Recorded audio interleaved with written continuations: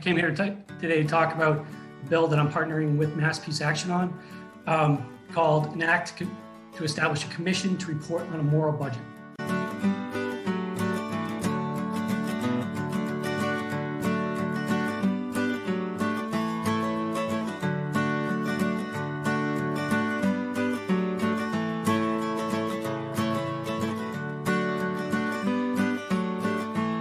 our social safety net has never um, been strong enough to, to reach everyone that's needed help.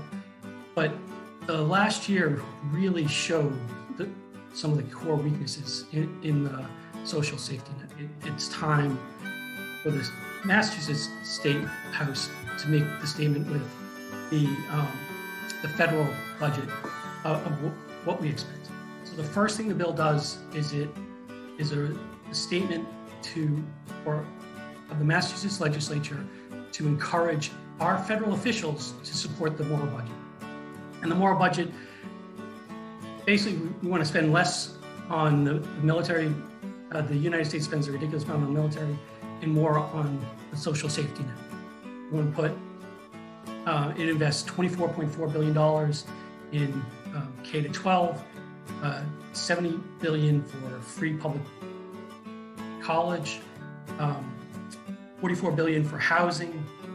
Uh, there's still a housing crisis in Massachusetts and across the country. Um, makes important statements regarding climate protection, increases the, the minimum wage to $15, um, and make, makes important statements to end our foreign incursions in Iraq, Afghanistan, and beyond.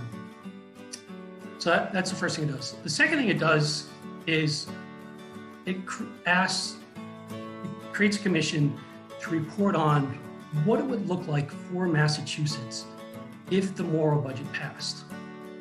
What a difference it would make with respect to education, with respect to housing, with respect to the social safety net.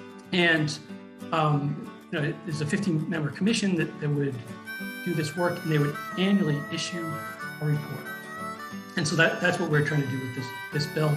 And I, I hope you'll join us in supporting it.